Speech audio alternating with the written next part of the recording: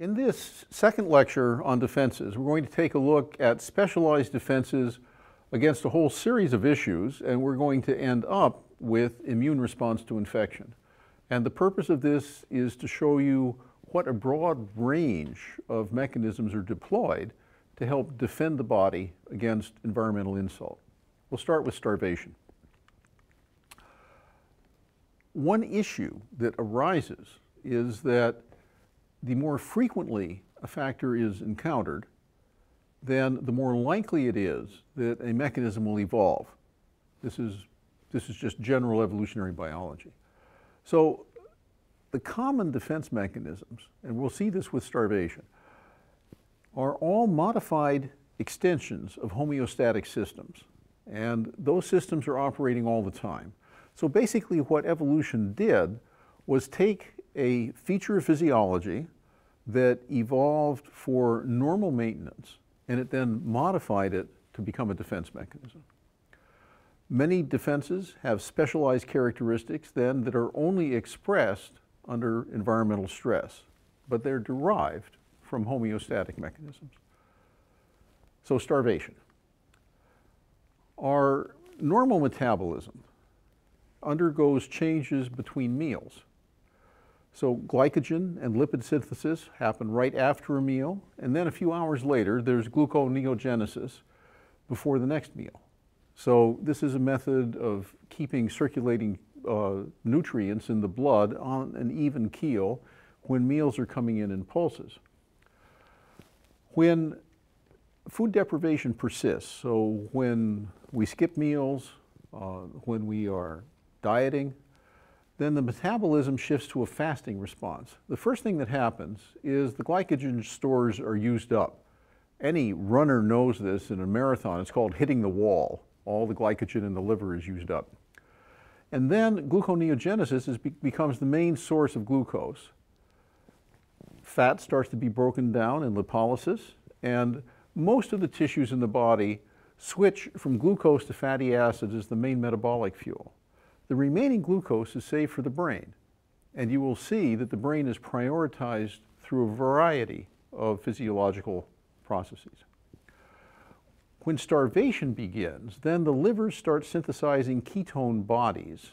Ketone bodies is actually kind of misleading. These are all molecules. So it's making acetone, acetoacetic acid, and beta hydroxybutyric acid.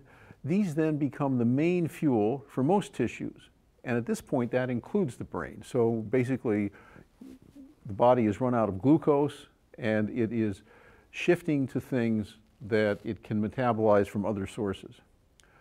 When starvation is extreme and fat stores are completely depleted, then the breakdown of protein in skeletal muscle starts to provide amino acids as a food source. So metabolic defenses against extreme food deprivation are extensions of the fasting response that occurs between meals normally. But of course, it's digging deeper and deeper into potential food reserves. Now, the illustration here, which probably looks to you like a person who might have survived a concentration camp in the Second World War, is actually from a Civil War concentration camp. It was called Andersonville. It was in the South, and this is a Northern soldier who has managed to survive cholera and starvation in Andersonville. And it shows you just how much can be taken out of a human body without that person dying. Dehydration, water loss. Now, the issue of water in the tissues is intimately tied to circulation, and cardiovascular and renal systems are normally operating to maintain a normal blood volume and a vascular blood pressure. During the dehydration, there are adaptive changes in vascular tone, in heart rate, in renal reabsorption, and these protect from loss in blood volume and from a, drop in blood pressure. Urine and sweat become more concentrated to reduce water loss. Uh, if you are losing a tremendous amount of water through sweat, you will hardly urinate at all. And there is a careful regulation between the amount of water going out through the skin and the amount of water going out through urine. So these adaptive changes are extensions of just normal homeostatic control of electrolyte balance and blood pressure. And they are actually being monitored and adjusted minute by minute in, in the kidneys and in the hypothalamus. A good friend of mine was on a Stanford research cruise in the South Pacific where it was extremely hot and people were losing a lot of water all the time. And he said it was delightful because he could drink all the beer that he wanted to and he never had to go to the bathroom. So that shows you what an extreme case might be. What about thermoregulation and what happens to us either in extreme heat or extreme cold? Core body temperature is nearly constant in birds and mammals. And any change in ambient temperature is going to stimulate either adaptive thermogenesis or heat dissipation. These mechanisms operate under normal conditions, but they really go into overdrive when environmental temperature changes are extreme. Cold will stimulate the hypothalamus to activate antagonistic skeletal muscles. That causes heat to be produced by shivering. And brown fat, which actually is present particularly in human infants, but is widely distributed uh, among mammals, it produces heat without shivering, and it does it by uncoupled oxidative phosphorylation. Interestingly, in neonates and infants and young children, abundant brown fat is near vital organs and it's near arteries that are supplying blood, for example, to the brain. So there are methods of activating a particular issue that's like a little heat packet in the body. And it's located in places where maintaining temperature is particularly important. Cold adaptation reduces heat, heat dissipation by decreasing blood flow to the skin and to the extremities. So when we get cold, we maintain core temperature, but we notice that our hands and our feet are starting to get, become especially cold. Adaptation to heat, on the other hand, causes increased blood flow to the skin, activation of sweat glands, and if we look comparatively, you can see that heat will shift in an African elephant, for example, into its large ears in order to dissipate. So you can see that uh, a lot of our adjustment to temperature is something that we've dealt with culturally as well clothes, central heating, all of that is part of our cultural thermoregulation. What about fight or flight? This is a defense against predation and against antagonism. And it's activated if there is a sudden dramatic need for a physical response. And that can happen either because of predator attack or because of a fight. It's controlled by a strong increase in the output of the sympathetic nervous system, and it results in an increased heart rate, increased respiration rate, and a shift in cardiac output to skeletal, skeletal muscle. So even if you've just had a big meal and you have a lot of blood concentrated uh, around your intestine and liver, if you're attacked by a predator, that will shut down very quickly and you'll have a big output into skeletal muscle. This is just an exaggerated version of normal sympathetic control of how energy is being allocated through the body, whether it's going into a digestive or respiratory function or into skeletal function. So here is a picture of a fight and that kind of thing, unfortunately, over our history has happened a lot and we have needed this response for that. And here is a lover who is escaping through the window as an angry husband comes in.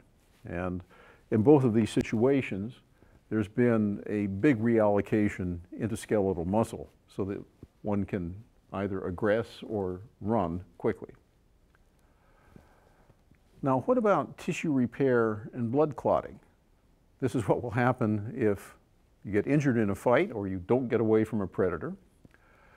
The cells that are lost during injury are going to be replenished by increased proliferation of parenchymal cells, or usually tissues have corresponding stem cells. And so they will be recruited. And that can take a while. This is actually just an enhanced version of the normal tissue renewal in which tissue stem cells are continuously making newly differentiated cells. That happens in different tissues at different characteristic rates. The blood clotting cascade is activated by vascular damage, and that prevents blood loss and promotes repair of damaged blood vessels.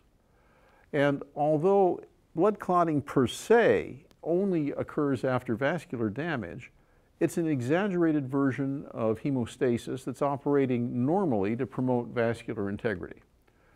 Blood vessels can't operate normally in the absence of platelets and other components of the clotting machinery. So here you can see uh, a look at a second degree burn and the kind of activation of tissue repair that goes on after an injury. And here is a scanning EM of some blood cells and platelets. The platelets are, these, this is a red blood cell. This is a T lymphocyte. But then these little particles down here are platelets, and they will participate in blood clotting.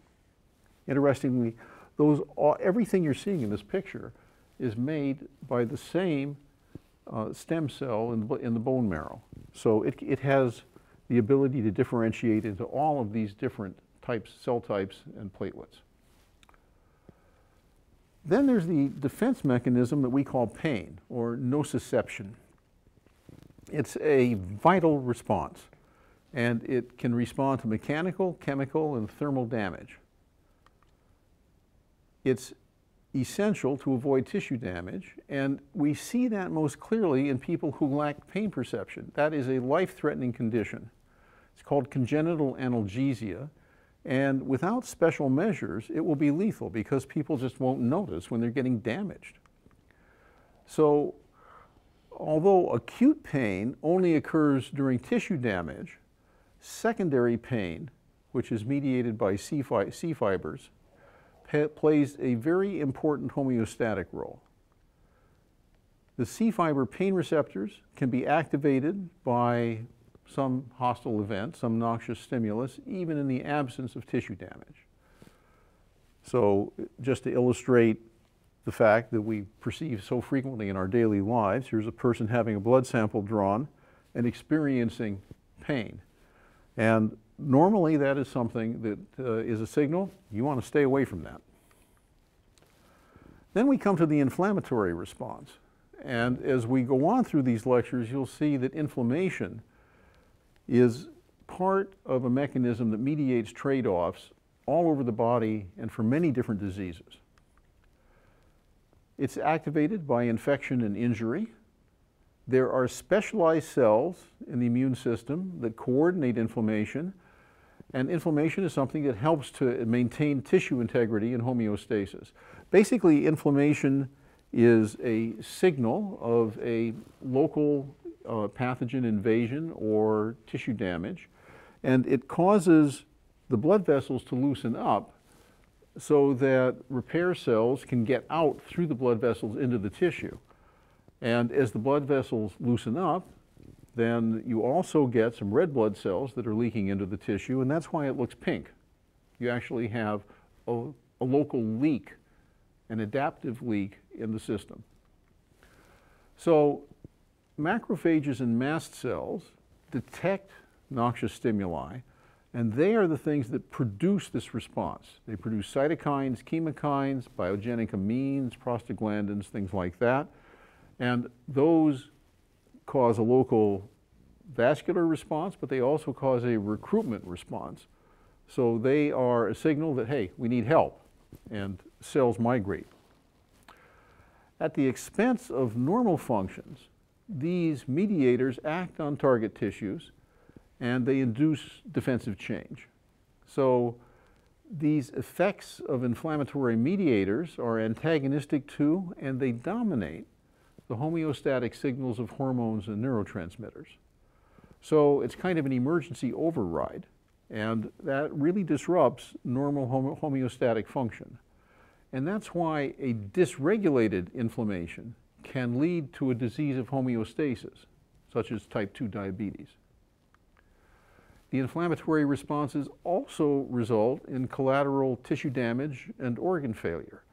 So if you have an extreme inflammatory response, that can be deadly. That could produce, for example, septic shock. So inflammation is one of those cases where you have a very large benefit, but there are very large costs which are normally balanced by those benefits. But if it's dysregulated and the costs emerge, the patient can die. So here is just an example of a contact dermatitis. This might be poison ivy or something like that. And you can see that there is a lot of fluid that is kind of pink, which has leaked out into parts of the tissues where it's not normally there.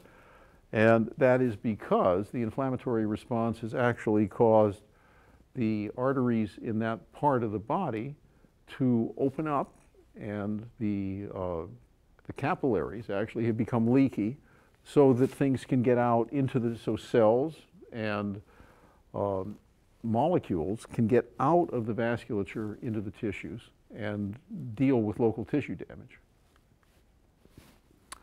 Then we have allergic defenses. And these uh, are operating in barrier tissues. So we don't have allergies in all of our tissues. They are usually localized into the skin and into the mucosa of the respiratory tract, the gastrointestinal tract, and the urogenital tracts. So those are places where our bodies are coming into frequent contact with external pathogens and toxins. Allergies are normal responses to things like venoms, irritants, xenobiotics, phytochemicals. We just saw a case of something like uh, poison ivy and various enzymes, for example, in wasp venom, and even heavy, heavy metals like nickel. I actually have an allergy to the metals that are in my wedding ring. It makes my wife raise her eyebrows a little bit, but I have an allergic response to heavy metals in a wedding ring. The main defenses expel the substances and they reinforce the barriers. The idea being get it out and then close the door. So allergic symptoms are manifestations of these kinds of defenses. Mucus production enhances mucosal barriers, so you get a runny nose. Airway, the, the bronchi can be obstructed. Bronchoconstriction prevents further exposure to airborne substances.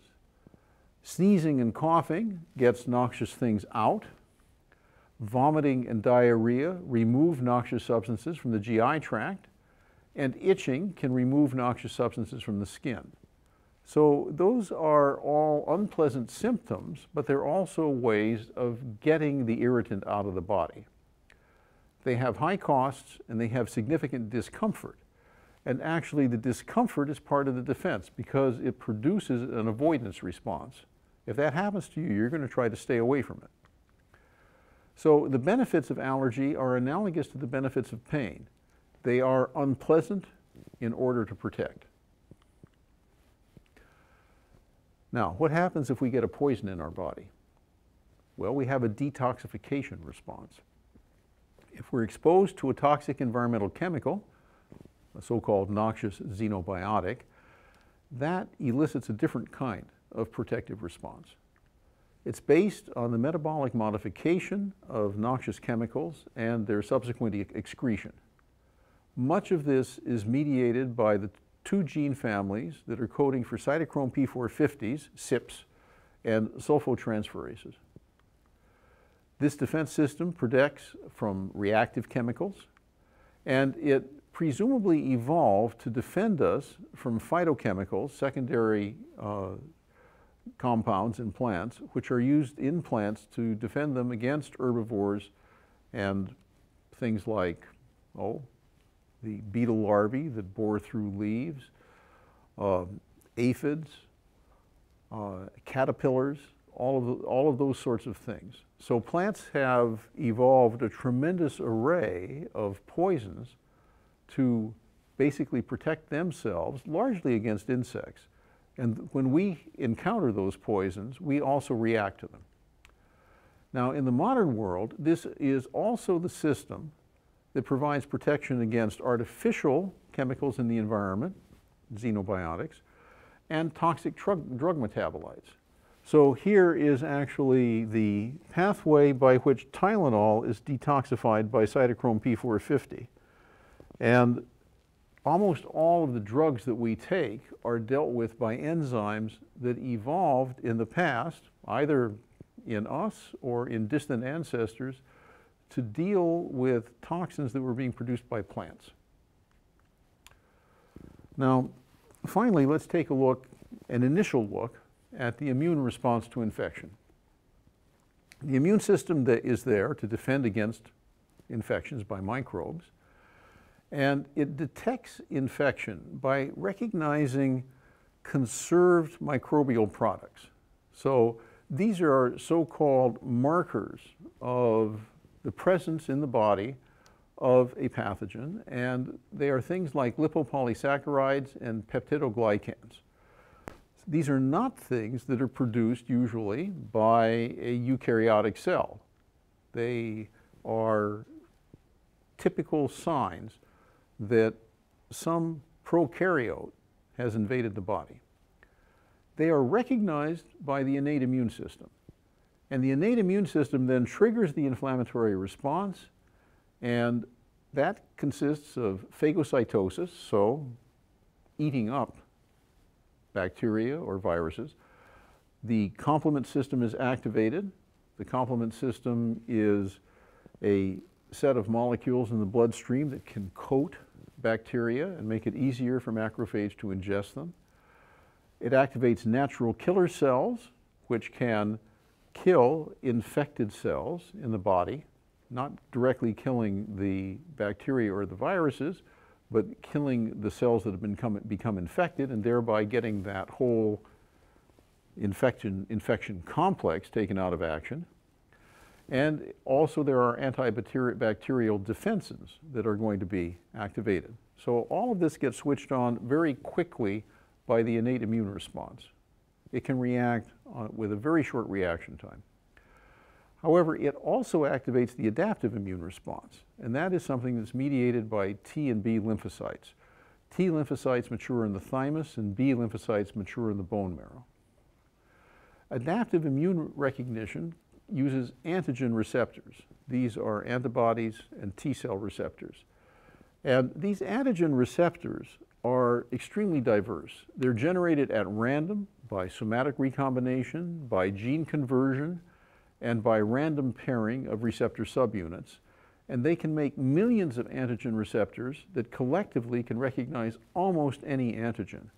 So they allow very specific responses that can then, in time, overwhelm very specifically a particular pathogen or even a particular cancer cell type.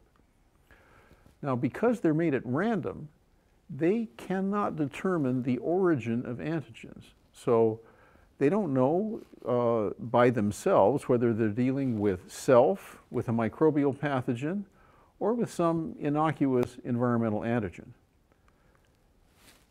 And this is part of the lymphocyte response right here. So in that same picture, we can see a T lymphocyte here. And as we go through the immune system, we will see that the cellular response, the adaptive immune response, uh, relies on cell-to-cell -cell communication. It relies on different kinds of cells, T cells, B cells, dendritic cells, and things like that. And because it's a cellular response and cells take time to divide and to build up a population, it takes time. The innate immune system is the part of our defense mechanism that determines where an antigen came from. Did it come from a virus? Did it come from an extra or intracellular bacterium? Or is it a eukaryotic parasite that's being dealt with? So the innate immune system detects that and then tells the adaptive immune system what it's dealing with. That's why the innate immune recognition is required to activate the adaptive immune response. And then the adaptive immune response differs with the kind of pathogen that's been detected. A key feature of adaptive immunity is the ability to remember. So if a pathogen is encountered in a two or three year old child, then a set of B cells is recruited and remembers the reaction to that pathogen. And if it is encountered 50 years later, that population of B cells can be rapidly activated and produce a more rapid response to that particular pathogen. So following that initial exposure, the host is protected from subsequent infection, provided that the antigens of the pathogen remain the same. So as long as the pathogen, that part of the pathogen that's producing the antigen hasn't changed, the host can respond quickly. That is the basis of vaccination. So vaccines mimic infection in order to produce an immunological memory. And it's that immunological memory that is protecting against future infections. This is what an antigen, uh, an antibody to an antigen looks like. It's a Y structure and it has a variable part and it has a constant part. And it has four units at its tips. And these are the four units that can be recombined in many, many different combinations. So this is actually the business end of the adaptive immune system.